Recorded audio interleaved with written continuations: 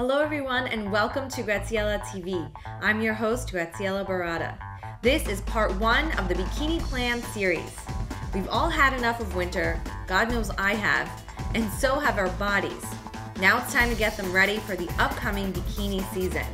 I've got an easy to follow plan to fit all types of fitness levels, and we're going to do it together. For the next three weeks, I will be offering free one on one coaching to all, yes, all who join my email list at GraziellaTV.com.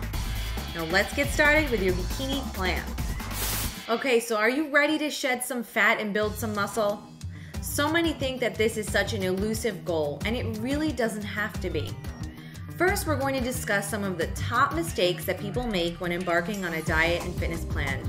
And then I'm going to give you some guidelines to make your bikini plan a success.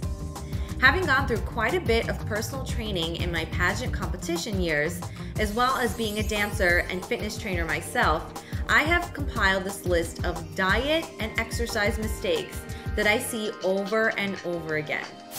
Number one, not having an actual plan. Most people think that cutting out some carbs and using a few random machines at the gym that you've joined but seldom show up at will do the trick. Chances are that if you haven't already been working out and eating mindfully, it may do the trick temporarily. Your body may respond to those changes, but soon after it won't be enough. And for many of you, it already isn't enough to achieve the bikini results that you're after. You need a tailored plan to your diet and fitness needs because our bodies are highly complex mechanisms. That's why it's important to follow a plan created by a fitness and diet expert. We're going to go over some basics to make it simple to remember. Number two, too fast and furious. While it's great to be enthusiastic and motivated, fast and furious is not such a great approach for your body. By that I mean specifically with exercise. Many try to do too much exercise all at once with little to no instruction or guidance. They end up getting super sore or injured thus postponing regular exercise and deterring the entire plan. What you want to do is gradually build intensity so that your body is not so in shock and able to stay on track. We'll get into the physical part in just a moment. The same goes with the diet, believe it or not. Number three, doing only one of two parts. This is a biggie. Diet and exercise go hand in hand and complement each other. So many people make the mistake of just relying on one of these two elements to create change in their health and fitness. But combining the two is where the real magic happens. Number four, eating diet food. Foods labeled as diet food are mostly packaged processed foods that are more marketing than nutrition. Be smart, read food labels to see exactly what's in there. Now, if you're confused about what to eat, don't worry, we'll go over that in just a moment. Now we're gonna go over some basic do's and don'ts for your diet. Number one, read food labels. It's amazing what you can learn by reading food labels. Not only will you know exactly what you're eating, but you'll be able to relate how you feel after eating certain ingredients from one product to another. For example, I learned that foods that contain soy protein upset my stomach and cause a mild allergic reaction for me. Be sure to read food labels every time you buy a product. It'll take a little bit longer in the supermarket, but it's well worth it. Number two is limit dairy products. It is believed by many that dairy food from a cow is considered to be food for the calf and not for humans. Because the cow's milk is designed to fatten baby calves who are significantly larger than humans biologically, it is definitely something to consider consuming in great moderation. When choosing dairy products, they must be organic as anything that isn't will contain growth hormone, which also makes humans grow fat, and plenty other chemicals. Raw, organic, and unhomogenized dairy is the best option, but may be difficult to find. Opt for the closest version of that that you can find in your area, which for most of us means organic pasteurized dairy. Next, drink spring distilled or filtered water. Most tap water is not pH balanced, which can lead to disease. Google it. It contains an abundance of harmful chemicals. Choose spring distilled or filtered water instead. Do your research and be sure to get a filter that removes all harmful chemicals. Next, you want to eat food with value. When you think about nourishing your body, you want to choose foods that have good value for the amount of calories that you're eating. A donut has very low nutritional value but a high calorie count. A better calorie would be a whole grain roll, which not only provides a substantial amount of energy, calories, but will sustain your hunger for longer and provide you with some essential nutrients and fiber. Do wait at least two hours after eating to work out. Working out any sooner after you've eaten will only burn the calories you just ate and not any stored fat. We want to burn the stored fat. Okay, next, have your cake and eat it too. Yes, you can have your cake and eat it too. It's important to allow yourself the treat on occasion. If you deprive yourself all too often of these treats, you may just one day boycott your healthy new lifestyle and gorge on everything that you've deprived yourself of. With that said, treats should be had in moderation. It's important to note that if you're going to cheat, it should ideally be with a natural and, if possible, organic version of what you're craving. For example, something I crave burger and fries. So if you want a burger and fries, make it yourself from high quality natural ingredients or go to a trusted restaurant like Better Burger in New York City that makes organic and environmentally responsible food. Discipline yourself to eat a regular, healthy diet and allow yourself a treat whenever you want. Chances are, if you're eating a regular, healthy diet, your junk food cravings are going to diminish at some point. Whenever you do want a treat, you won't feel as guilty because you know you've eaten good food and you can really enjoy your treat. So go ahead, have your cake, and eat it too. Next, let's go over some don'ts. First big no no do not use artificial sweeteners. All artificial sweeteners, such as saccharin, aspartame, Equal, Splenda, and others, will make you fat and cause numerous medical problems. Stevia is recommended as a non calorie, all natural sweetener made from the stevia plant. There are many brands available in numerous health food stores, but be sure to get pure stevia with no other additives. Another alternative to sugar or artificial sweeteners is agave nectar, which comes from the agave plant. It is much sweeter than sugar but has a lower glycemic index, allowing your blood sugar to remain more level than with sugar, which is really important with your metabolism and losing weight. Next, do not eat white sugar or flour. White sugar and flour are made white by using bleach, and bleach is not healthy, period. Additionally, white sugar and flour are stripped of nutrients during the chemical process with the bleach and possibly other chemicals as well. White flour has far less nutritional value than its whole grain counterpart. Remember, eat food with value. Next, a big no no do not eat anything with monosodium glutamate, MSG. MSG is an additive chemical that makes you fat and can cause all kinds of medical problems as well. I'm sure many of you are well aware of it, but it's in many more foods than you think. So it's important to read food labels as MSG is disguised with other words such as spices or other spices, artificial flavoring, hydrolyzed vegetable protein, etc. It's virtually in all fast food and chain restaurants, and that's why they're so addicting, making America fat. Do not eat hydrogenated anything. Hydrogenation is a process that makes healthy fats into unhealthy fats, the now infamous trans fats. They cause weight gain, but more dangerously can lead to a number of health problems, including heart disease, high cholesterol, obesity, and more. Anytime you read the word hydrogenated, stay away. Next, do not eat fast food. Yeah, even their salads. Fast food chain restaurants make an abundant use of MSG and the lowest quality food you can find in the world. This is the last thing you want to eat because fast food causes weight gain and major health problems. There's no benefit to eating fast food. If you think they're cheap eats, well, think about this. You can pay less for food now, but pay more for countless medical bills later, not to mention the ultimate price of your health. So think about it. Spend a little bit more money on better quality food now and less on medical bills later and live a healthier, happier life. Do not eat anything with high fructose corn syrup. There's a lot of controversy around that, but it's sad to know that high fructose corn syrup is in countless packaged American products because corn is an abundant crop.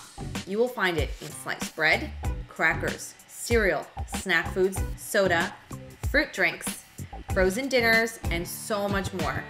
Just read the labels and you will find out on your own how many products contain high fructose corn syrup. Why is it bad? Well, it's a man made sweetener that extends the shelf life of many products, essentially a preservative, and it has zero nutritional value along with a high calorie price. Although made from corn, it does not have the same nutritional value as corn because it's produced with chemicals. It destroys all of that nutritional value and fiber that's in corn. So avoid it at all costs. Next no no do not go to sleep shortly after eating your last meal. Whenever you eat your last meal, whether it be at 6 or at 10, as many of us like me have very different schedules than the rest of the world, you must wait three hours before going to bed. Going to bed any sooner will store all of that food as fat. Okay, guys, those were your basic do's and don'ts. Get used to them for the next week, and we'll be back here next week to discuss even more. And remember, you have free online coaching from me for the next three weeks. So feel free to send me an email and sign up at GraziellaTV.com. Now, we're going to go on to some fitness. I'm going to give you a few key exercises to do in the next week. Try to do them three to five times a week and let me know how you feel. All right, everyone, let's get ready to move. First, you want to start with a five to seven minute dynamic warm up. And by that, I mean warming up all of your different muscle groups. Do some jogging in place, some shoulder rolls, stretches. Just make sure that your whole body is nice and warm. Then grab a pair of weights, anywhere from 3 to 15 pounds, depending on what challenges you and provides you with enough resistance to do all of these repetitions. Make sure that you're able to complete all the repetitions. So I'm going to grab just one. Here I've got five pounds. And we're going to do an exercise that I like to call the figure eight. So you're going to bring the weight up to the side and touch your foot right behind you. We're actually making the shape of a figure eight. This is a great functional exercise because it mimics everyday movement. Make sure that you're really using your core. Bending those knees and back up. Good. Other side. And dip.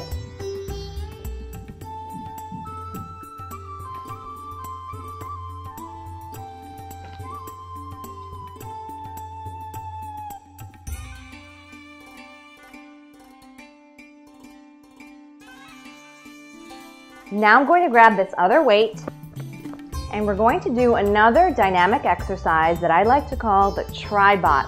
And that's because you get your triceps, your biceps, and a squat in all in one time. So here's how it goes. Bicep curl, tricep extension and squat at the same time, back up. So make sure you really think about what you're doing with this exercise. I'm going to show you from the side. Extend, back up. Really squeeze when you come back up.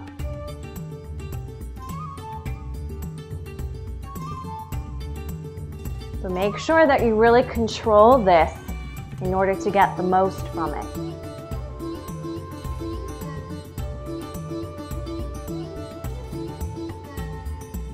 Next, we're going to do a two-part exercise. So this is a little bit tricky.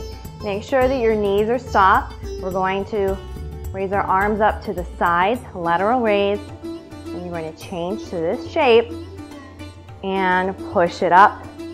Bring it back down through here and down your sides. Again, lift up, change, push, bring it back down, squeeze your shoulder blades together and down. Lift, change, push up, Back down to your sides and lift. Change. Up. Squeeze shoulder blades down a little faster and lift. Push. Squeeze down. Lift. Push. Squeeze and down. Good. Squeeze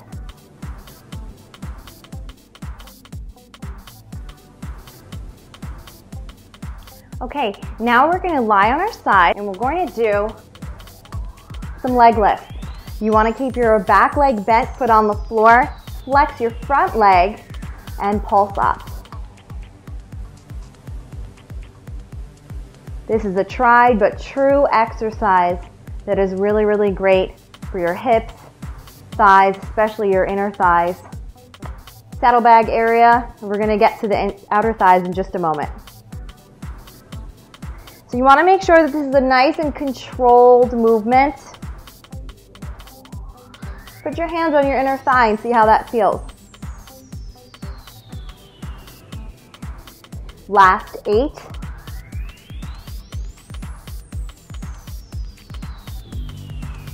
Good. Switch to the top leg. Make sure it's parallel to the floor and pulse up.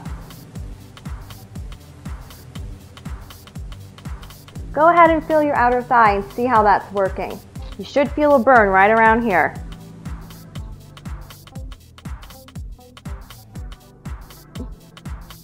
Again, this movement is very controlled so that you get the most out of the exercise.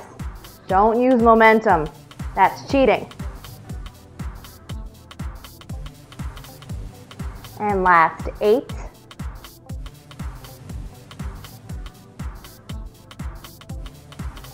Excellent. Switching sides. Flex the front leg, pulse up.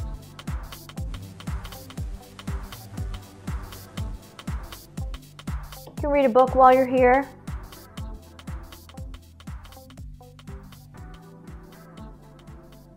These are really, really great exercises to really slim and tone the legs. Last eight.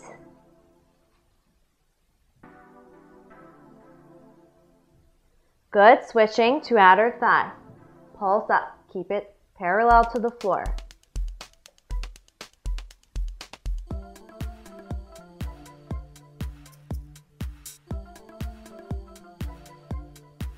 If you put your hand on your waist, you'll see that it also targets a bit of your obliques.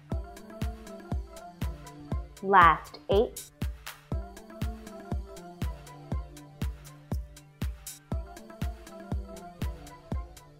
Good.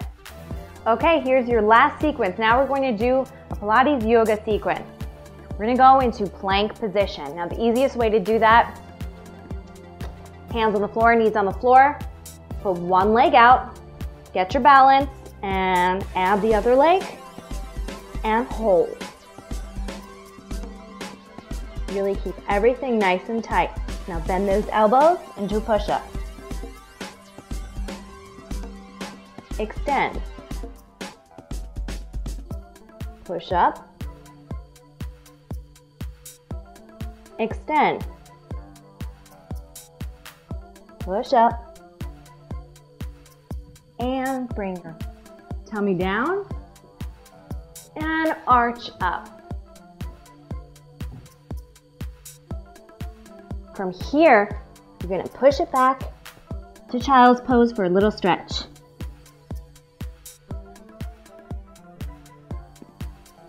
Okay, now we're gonna go back into the plank and face forward. So watch.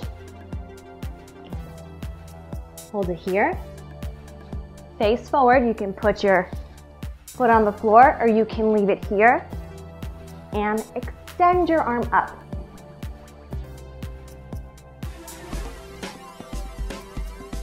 Good, other side.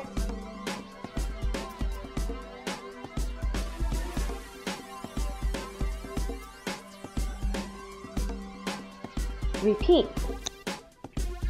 Hi.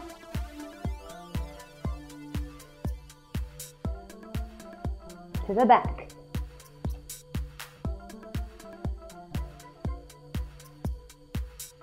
Excellent.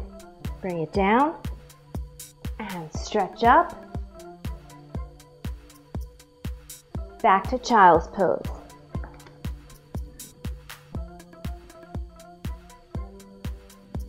Okay, now let's come up for a little stretch. You're going to give your right leg a hug. We're going to do a spinal twist. One of my favorite stretches. Put your arm across your thigh. Deep breath in. And exhale as you twist back.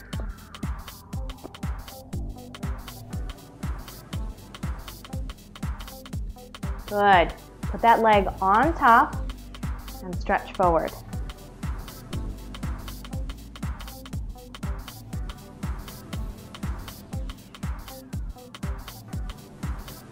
This feels really great after those outer thigh exercises. Give your left leg a hug. Arm across the thigh. Deep breath in. And exhale as you twist.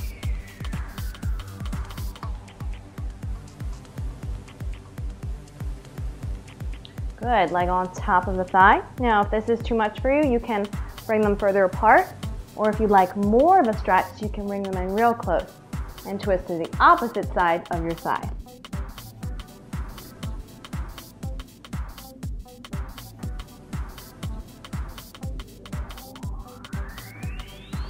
Excellent.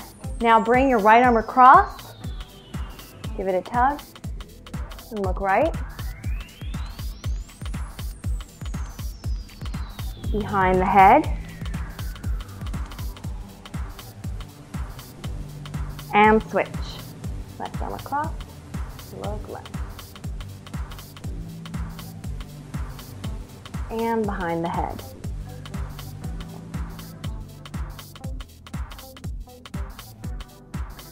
Good, let go. One more stretch. Go into a straddle position whatever your second position is. This is called second position in dance, okay? So you can be here or here, wherever is comfortable for you. We're gonna stretch out those inner thighs. So reach over.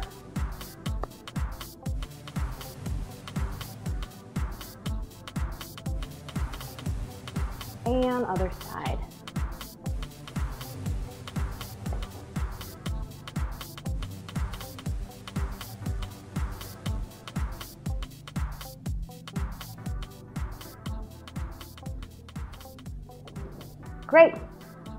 You want to follow up this routine with 30 to 45 minutes of cardiovascular exercise. My cardio of choice is an aerobics or dance class.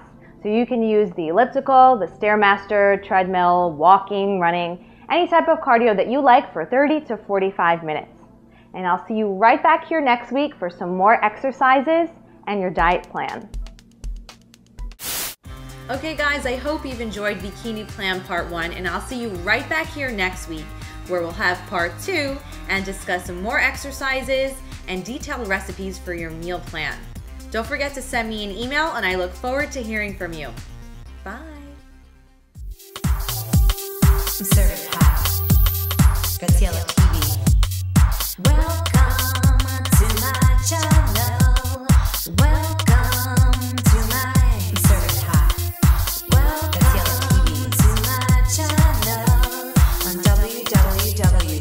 GraziellaTV.com.